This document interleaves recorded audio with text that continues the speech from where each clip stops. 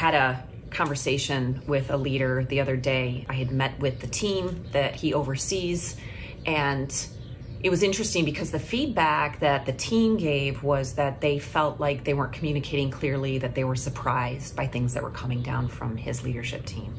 And when I fed him that, that information, he also said, I feel like I get surprised all the time too.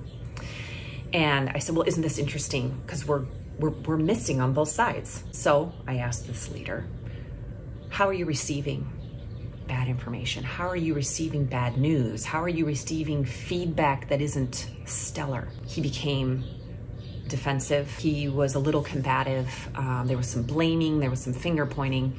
And when that was finally all done, he calmed down and he got grounded. And he looked at me and he said, Well, how should I be receiving them? When I'm grounded, I can accept that information and I can process it.